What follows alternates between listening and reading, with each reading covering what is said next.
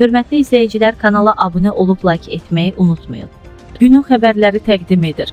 Türkiyədə fəaliyyət göstərən Azərbaycanlı aktrisa, əməkdar incəsənət xadimi Məlahət Abbasovaya ağır itki üz verib. Referans Az Mətbuat Aza istinadən xəbər verir ki, sənətçinin qaynanası dünyasını dəyişib. Sosial media hesabında paylaşım edən aktrisa bu sözləri qeyd edib və son. Dünən canım anam evimdə mələk oldu. Sənə ə qaynana ə deyə bilmirəm, çünki mənə analıq etmisən. Gözəl anam, sən evimin dirəyi idin. Sən anaların anası idin, mələk üzlüm. Yaxşılıq, yardımsevər bir qadın idin, anam. Hamımız pərişanıq. Səndən ötürü çox darıxacağıq.